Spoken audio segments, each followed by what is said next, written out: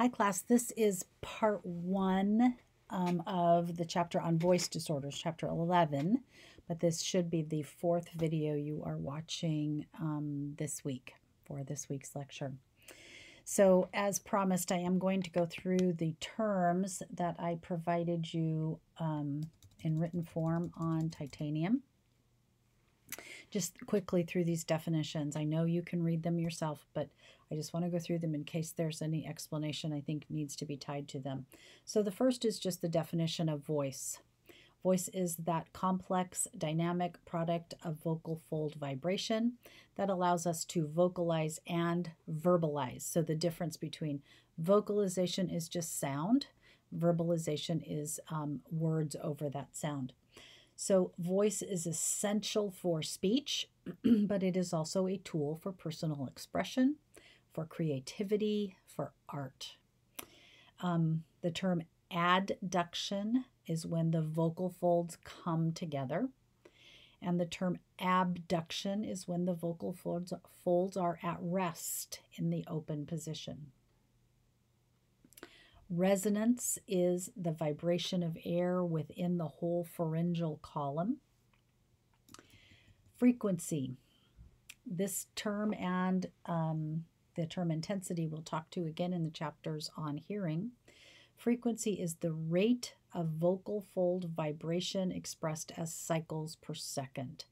So, in terms of voicing, that's not the same definition as we'll use for hearing um, or for sound, but um, the rate of vocal fold vibration, cycles per second, and it is expressed in the term hertz, H E R T Z. It's a physical measurement that we perceive as pitch. Fundamental frequency. This is the arithmetic mean of the rate of vibration of the vocal folds. So if we're looking at that um, measurement of cycles per second, this is the average or the arithmetic mean. So this changes based on each individual. So your average kindergarten student um, has um, a fundamental frequency of about 250. An adult woman, it's between 180 to 220. An adult man, it's usually between 120 to 140. Um, so you see, we're expressing fundamental frequency frequency as pitch. So you can see kindergarteners have a much higher pitched voice than the average woman, um, who has a slightly higher pitched voice than the average man. Um, fundamental frequency can change in an individual person with age because of physical growth, because of changes in the length and mass of the vocal folds. The term intensity is the physical measurement of sound pressure or decibels and correlates with what we perceive as loudness. Now, we, we have talked about this before, and we'll talk about it again in the chapters on hearing. Um, intensity is determined by how far the vocal folds separate laterally and how quickly they come back together in each vibratory cycle. Two factors impact that. One, the amount of airflow from the lungs and the amount of resistance to that airflow by the vocal folds. Phonatory quality. This is how well the two vocal folds work during that vibratory cycle. Now, this is something that we aren't measuring by some kind of numerical measurement, but this is described in words like mellow or rich harmonious, velvety, reedy, whispery, whiny, harsh, shrill, flat.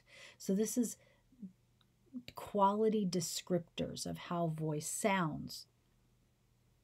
Okay, so those are our terms from the sheet. Voice is considered disordered when its pitch, its loudness, or its quality differs significantly from that of persons of similar age, gender, cultural background, racial, or ethnic group. Um, it must be serious enough to draw attention or to detract in some way.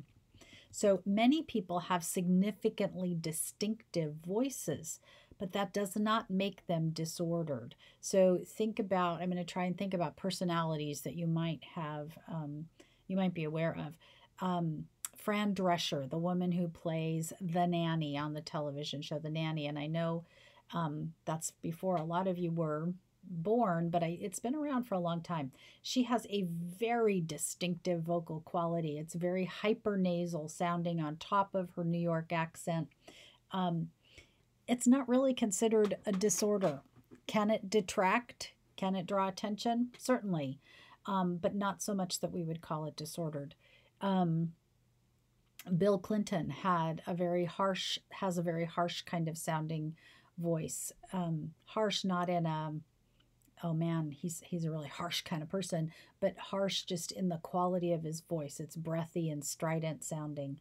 Now, his could be because of vocal disorder, um, but again, it's just a very distinct vocal quality. So, difference again is not disorder. Disorder is when attention is called in a very negative way um, and the current vocal quality detracts from the person's ability to function in society in a way that they want or a way that they always have. So I'm going to give you another example that I hope you will all know who I'm talking about Julie Andrews. Um, so, for those of you who aren't familiar with her name, Julie Andrews is the original Mary Poppins. She is the original Maria in The Sound of Music. Um, she is um, Princess Diaries. She's Grandma, the Queen in Princess Diaries. Um, Julie Andrews. Julie Andrews' voice, if you were to hear her today and her speaking voice, sounds perfectly fine, perfectly acceptable. You'd think there's nothing wrong with her voice. But she answers the question the way, or she is defined by the disorder of the way they always have been. Um, Julie Andrews is one of the most famous singers in the world um, has a, a, vocal range that spans about three octaves. Um, we'll talk about what octaves are in a minute if you don't if you're not familiar with music. Um, however, um, vocal nodules damaged her vocal folds so much that she can no longer sing in the way she always had. She has a singing range now of about six notes. Um, that's very different than the three octave range that she had previously. So you can see defining vocal disorders, except for when they are because of a physical issue, can be pretty tricky. A couple other terms that are not on that first page dysphonia. Um, a lot of our spelling of um, medically related words uh, is based on Latin definite Latin terms, so we spell things in different ways. Dysphonia, D Y S P H O N I A. Dysphonia is just the word that means a disordered voice. Disor- a disordered voice. And then aphonia, A P H O N I A, is a total loss or lack of ability to produce a voice. Aphonia. Few more terms here related to vocal fold functioning. Hypo functioning. Whenever something starts with hypo, you know it's going to mean less than Hypo functioning. This is under functioning of the voice. There is not adequate enough tension um, in the vocal folds. They don't come together evenly, so they allow air to escape during vocalization far more than we want to escape. We can describe the quality of hypofunction as breathy or hoarse, even. Um, it can, hypofunction can affect just one vocal fold or both. Hyperfunction. Now, whenever you start something with hyper, it means too much. So, hyperfunction. The vocal folds are now overly tense. They're compressing together too tightly. The, the voice may be too high pitched. It must be it might be too loud. Um, it's definitely going to sound strained. Um, not strange, but strained. There may be excessive neck and jaw tension associated with hyperfunction. Another term is diplophonia, D I P L O P H O N I A. This means double pitch. Each vocal fold has a slightly different mass, and therefore it's vibrating at a very different rate. Now, there's another kind of diplophonia in which a person is also able to utilize the false vocal folds. Um, and you could do a YouTube YouTube search of that and um, hear it. It's kind of interesting, but in our case, what we're meaning is that each fold has a different mass, so vibrates at a slightly different rate. So you hear almost two pitches in a person's voice. And then the terms laryngectomy and alaryngeal communication. Laryngectomy is the surgical removal of the vocal fold. Remember, we save lives before we worry about speech and voice um, and communication. So, laryngectomies happen most often because of cancer of the larynx, um, but they also could happen if there's um, just severe enough damage because of some accident. Um, and then they result in alaryngeal communication. So, communicating without the benefit of having voice. So, there has to be another way to communicate. The terms prevalence and incidence we covered in our last um, section on fluency, but we're going to talk about what they mean here for voice. Uh, prevalence and incidence are relatively high in both children and adults. The most common cause of, adult voice disorders is vocal nodules. Um, um, the next most common list of causes are things like edema. Edema just means swelling or inflammation, uh, vocal polyps, um, vocal cancers, vocal fold cancers, and vocal fold paralysis. Um, in 10% of the cause, uh, vocal disorders, the cause is unknown. That's a pretty small percentage um, compared to many other of the disorders we talk about.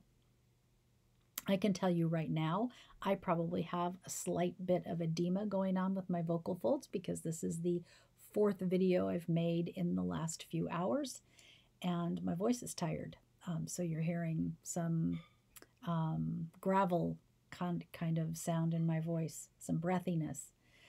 Um, in that case, I know the cause. So people in some professions report much higher degrees of voice disorder than others.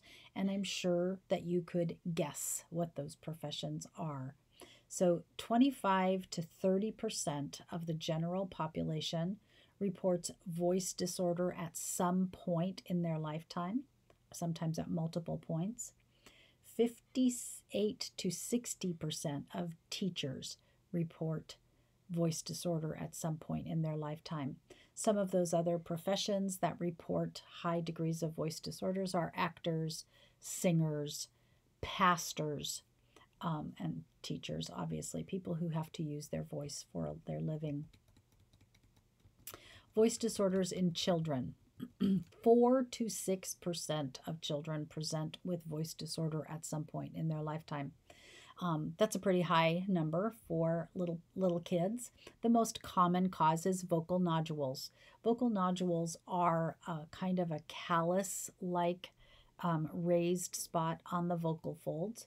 Um, and they're caused by exactly the same reason we might get callus on our hands. They're caused by that repeated um, overuse of that part of your hand. And in the case of the vocal folds, it's vocal abuse. It's the the little the little kid who does a lot of screaming and yelling or crying or super loud laughing. Um, there's all kinds of other um, loud overuse of the voice that can lead to vocal nodules. Again, more boys than girls.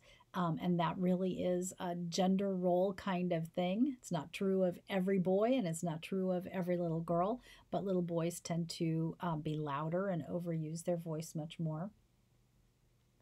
Um, vocal nodules typically caused by some um, psychological or social factors like anger and anxiety, distractibility, frustration, loud talking, just loud use of the voice.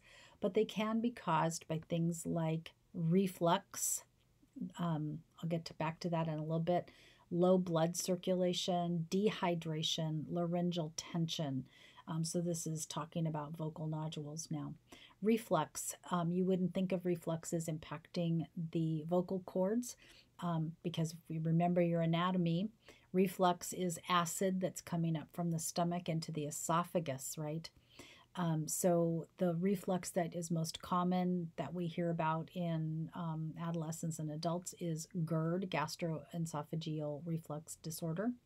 And that is true. Uh, acid just coming up into the esophagus, sometimes into the um, pharyngeal area, but not not usually any more than that. It's painful, causes heartburn, but there is a type of reflux called laryngeal pharyngeal reflux where that acid comes up and then drips back down into the larynx and um, causes edema on the vocal folds. um, can be treated in much the same way as um, GERD, either by change in diet or use of medications. In some cases, a surgical intervention is necessary. Okay, so that was voice disorders in children, um, and with a little carryover to adults with the uh, reflux issue. Prevalence and treatment. The rate of incidence among children is very, very high for vocal nodules, for voice disorders, but most of the time it goes undiagnosed and untreated. So let's answer the question why that is. One reason is access. Um, the most common place for children to receive any kind of therapy related to communication is through the schools. And children must qualify for services through schools based on education code to receive that support at school. Education code says that this must be having a negative academic impact. Very, very rarely does voice disorder like vocal nodules have a negative academic impact. Um, therefore, that access point is um, eliminated. Also, um, access because of the need for medical support or medical clearance to treat in the schools. This is the only disorder this is the, this is true for, but to treat in the schools, we must have a medical clearance. So I sometimes get a referral for voice, a child with a voice issue, and I meet with the parents and I discuss it. But then I have to say to them, before I even will do an assessment on your child, I need you to um, take them and have the doctor evaluate this first. And the reason we do that is there is a very tiny percentage of children who also could have cancer of the vocal folds or some other very significant medical issue. Um, and we need to know that before I would ever lead a parent to believe that I can treat this and take care of it for them. They have to have medical clearance. It's the only time, really, in the public schools that we do that. We have to word it very carefully um, because anytime we say to a parent, this must happen for your child as part of a school system process, the school is, is responsible for paying for that. So, what I always do is explain to the parent this is more likely, this is the very likely this is caused by vocal overuse um, by your child. The parent usually agrees with me because I describe what that means. Um, and then I explain to them that, um, you know, I ethically I can't treat this. They probably don't even need treatment in the public schools for this, but you need to have it. You know, next time you go to a well child visit with your doctor, why don't you discuss it with them?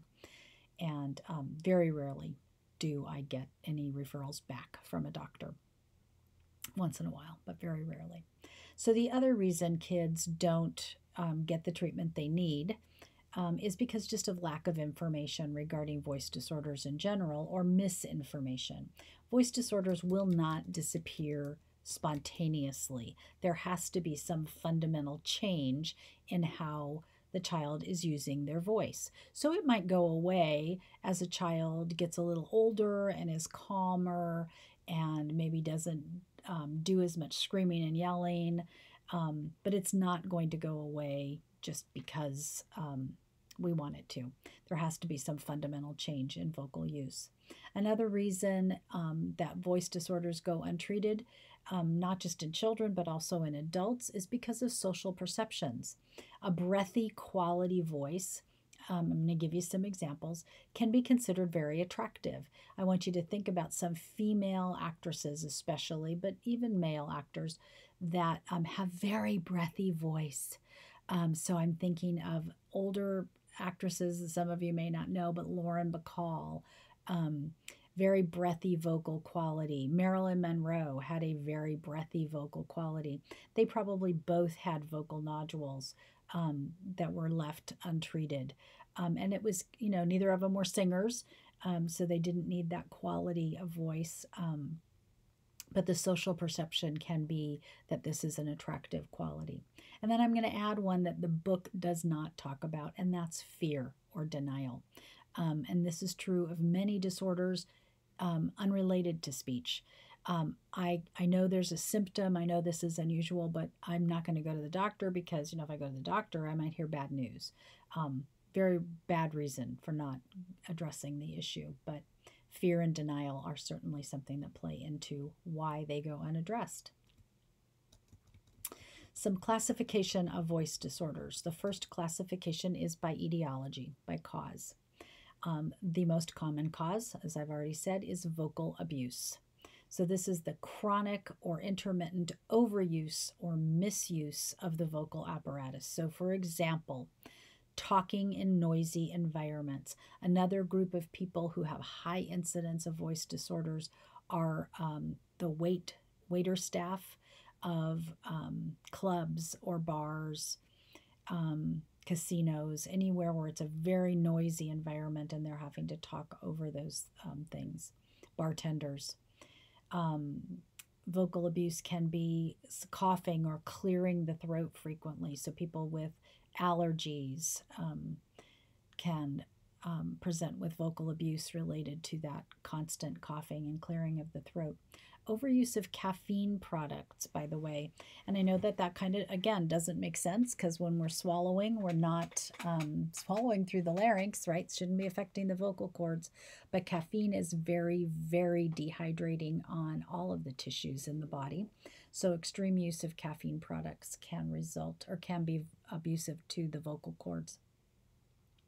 In your book on page 364, um, I'm going to read you right out of your book, something I tried not to do too often. I know um, I do work from the book a lot, but I'm going to read you this description of a cough from your textbook because I think that um, one, the writer of our textbook is a frustrated um, poet in some in some ways but also because this is just such an amazing description of how abusive a cough is so here we go the tissues of the larynx are tossed about as though caught in a hurricane.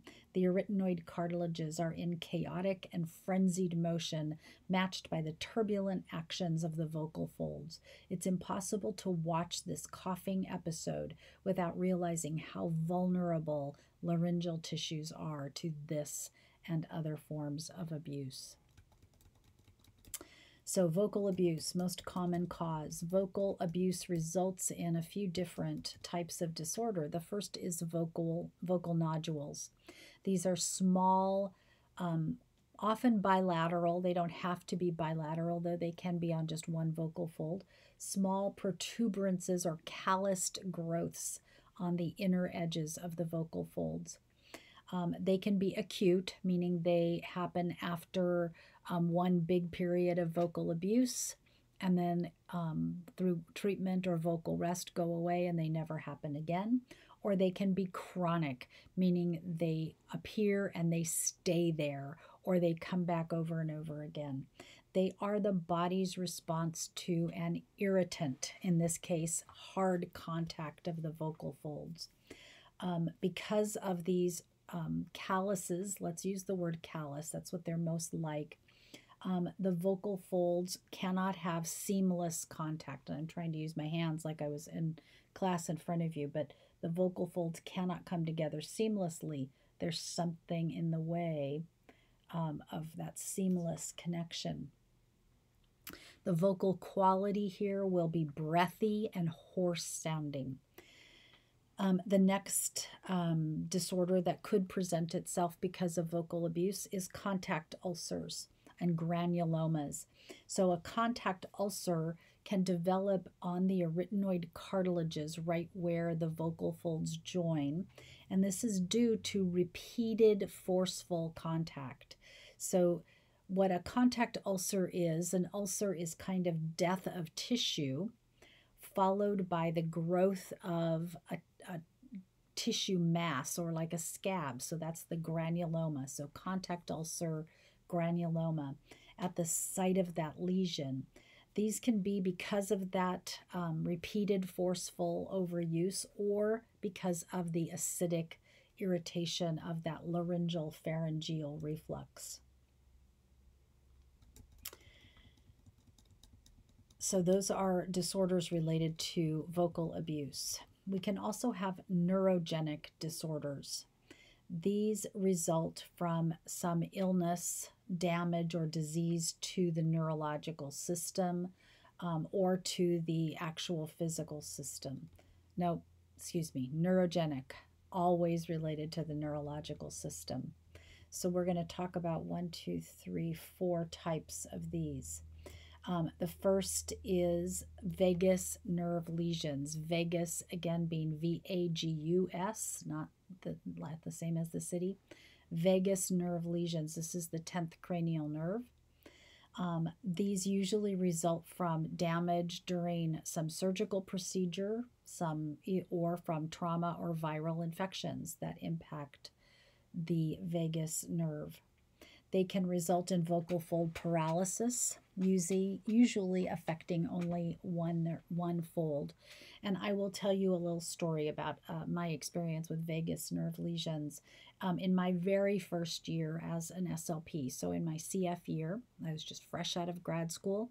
I was working in um, a school district in Casa Grande, Arizona, and I had a, a parent who was actually a teacher at the school approach me about her junior high age daughter. Um, I also provided services at the junior high school, telling me that before winter break, so around Thanksgiving, her daughter had been very sick with a cold um, and hoarse voice. Daughter used her voice constantly. She sang in the choir. She was on ASB. She was a cheerleader. You know, used her voice all the time and her voice really had gone away. So she's aphonic without voice, and it had not come back.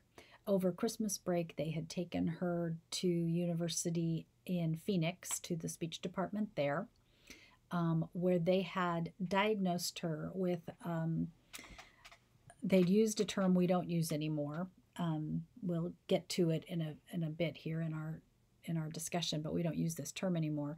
They had diagnosed her with hysterical aphonia. So, in other words, saying there was some psychological reason um, that this teenager was no longer using her voice.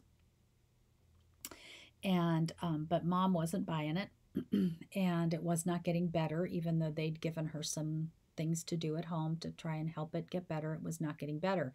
And now we are a couple weeks past Christmas vacation, maybe maybe even into um, mid mid late January. And you know, I'm fresh out of graduate school. I'm like, why am I going to contradict somebody at the university um, in Phoenix? So I do an assessment with her, and even though this you know i'm i'm i'm a newbie at this. I'm i'm you know really don't know. I i also was not convinced that this was hysterical aphonia. There were just some things that told me that's not what this was. And um but i but i didn't know what it was. So the first thing i did this was before the age of the internet i made a phone call to my professor um, from graduate school who had um, been my professor in the area of voice disorders. And we talked about it. I had already dug through all of my notes um, from graduate school um, to try and figure out, and I knew what it wasn't. I knew it was not hysterical aphonia, but I wasn't sure what it was.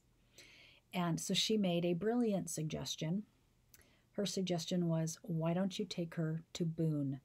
Now, there was a professor, head of the department at the university in Tucson. Now, I'm in Casa Grande. Phoenix is to my north, Tucson is to my south, all right on Interstate 10. She said, Why don't you take her to Boone? Dan Boone, not that Daniel Boone, but our Daniel Boone in, in speech. Um, Dan Boone was the expert on voice at that point. He'd written the textbooks. Um, developed all of the assessments. Um, I don't know if today you will still be um, using Dan Boone's textbooks, but I did. and I'm sure it's right behind me somewhere on that shelf. And so I did. I got permission from our school district for her mom and I to drive down to, I called him first, obviously, set up an appointment to drive down to the university in Tucson. And we went into the speech clinic there, and Dan and a couple graduate students started doing an assessment um, on her on voice. Mid assessment, Dan came back to mom and I while, she, while the young lady was not with us and said, I've called a friend of mine who is a neurologist um, in town, and he is willing to see you right now if you drive over there. And he said to mom, I think this is a neurogenic origin, and I need a neurologist to help make that diagnosis. So we got this young lady into the car and drove her to the neurologist's office where he did a screening right? There's our, our word screening. He did a quick screening of looking for some other neurological soft signs. So this unrelated to voice, you can you can screen for other neurological issues. Now he didn't find any other neurological issues, um, but he did also agree with Dan that this was probably of neurogenic origin. Um, his actual thinking um, at the time was that this was very, very early onset multiple sclerosis. Thank God that is not what it turned out to be. What it turned out to be was a vagus nerve lesion. Um, what it turned out to be was that cold that she had had back at Thanksgiving was actually a viral infection that had settled on the 10th cranial nerve and was now impacting um, her use of her vocal folds. So, with some really good medical intervention, thank God for modern medicine, um, within a few weeks, her voice was back and she didn't have any other problems with it.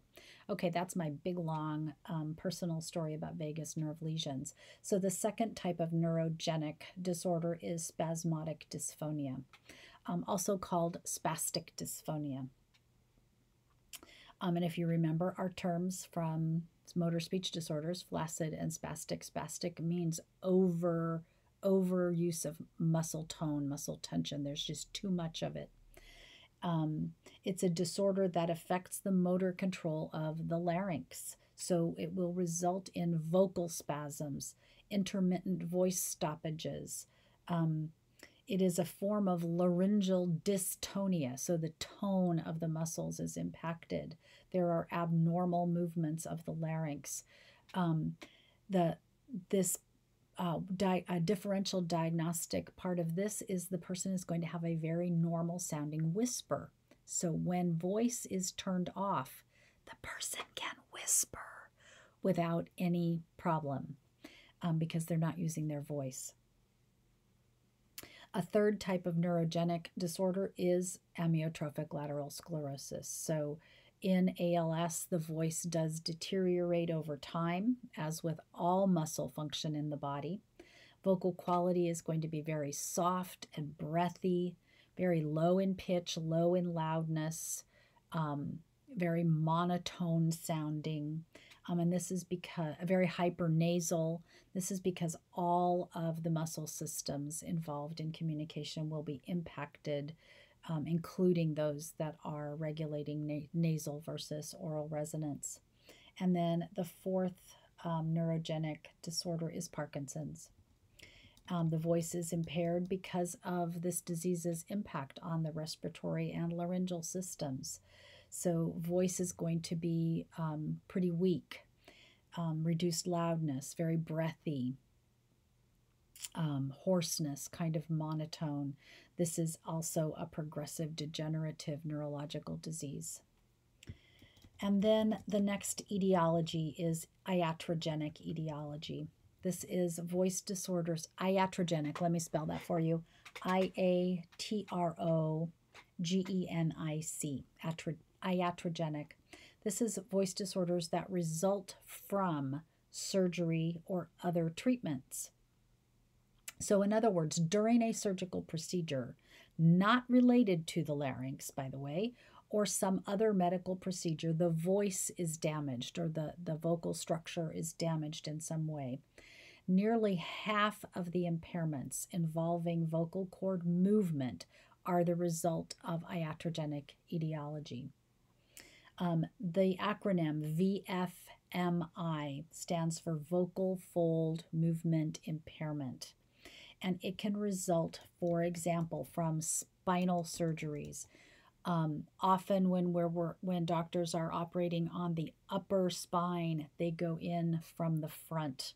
Um, any surgery that involves the chest or the thyroid in this upper area um, can result in vocal fold movement impairment. Um, intubation, we hear a lot about that in the news lately. The use of breathing machines, intubation can result in damage to the vocal folds, which will then result in issues with voice.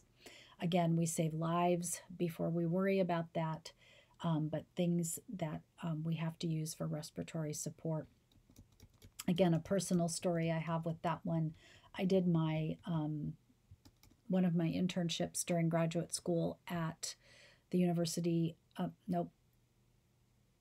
Yes, the University of Rochester Medical Schools Hospital, Strong Memorial Hospital, and um, one of the one of the advantages, I guess, but also one of the fear producing things that happens when you're doing um, an, an internship in a hospital setting, especially a teaching hospital, is that you sometimes get pulled into hospital rounds. Now, all of you who've watched medical shows that involve teaching hospitals or teaching staffs, um, you know what rounds are. It's when they take all the, the medical um, the medical students and pull them into a patients. Um, hold on, I got to log in.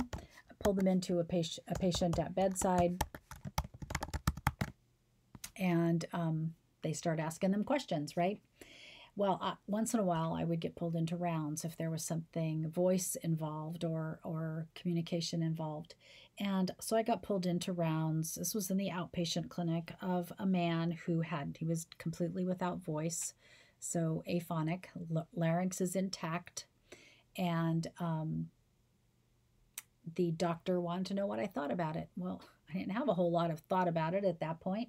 I didn't know. I asked a few questions, and um, it turned out that it was because during um, spinal surgery there had been um, damage to the 10th cranial nerve, not damage to the um, vocal folds themselves, but damage to the 10th cranial nerve that caused paralysis of the vocal folds. So they um, ended up treating him with vocal fold injections. We'll talk about those when we get to the section on treatment. But back in those days, they injected Teflon into the vocal folds. We don't do that anymore. I assume it's because we have discovered that it's probably a bit toxic. Um, but I got pulled on two rounds, and this was um, again, because of a surgical cause um, to the vocal folds. So let's talk a bit about vocal tics and Tourette syndrome. Vocal tics, by the way, can occur uh, as a disorder of their own. They are not always related to Tourette syndrome, but they also affect voice and voice quality. Um, they all they are sometimes one of the presenting symptoms of Tourette syndrome. And then another disorder called paradoxical vocal fold movement. There's no paralysis, there's no paresis, just which means um, weakness of or par- partial paralysis, but the vocal folds close seemingly without warning when they should be opening. So during breathing, um, it simulates choking or tightness in the throat. It can be perceived as an asthma attack. Um, it can be brought on by stress, but um, often it can also have some physical contributions. These are listed in the text. I'm not going to ask you to memorize those. Treatment always involves a medical team, but it does impact voice, which is why it's in our chapter. I think I am going to stop right there and we will finish the rest of this in class um, because I think you've heard enough from me in these videos. So when we get back, we will start talking about psychogenic disorders in class. All right. Bye, guys.